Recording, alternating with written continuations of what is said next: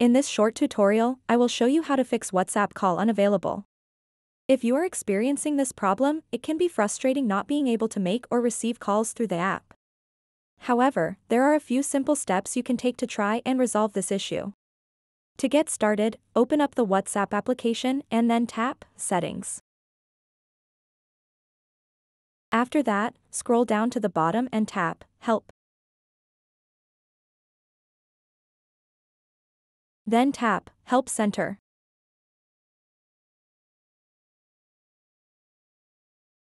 And then scroll down to the very bottom and tap Contact Support. What you want to do next is tell the WhatsApp support team about your problem. So just type in something like this. I am facing an issue where WhatsApp calls are unavailable on my account. I rely on WhatsApp for important communications, and this is causing inconvenience.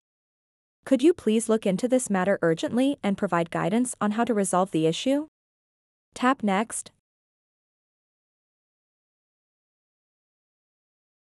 And then tap where it says, Send my question to WhatsApp support.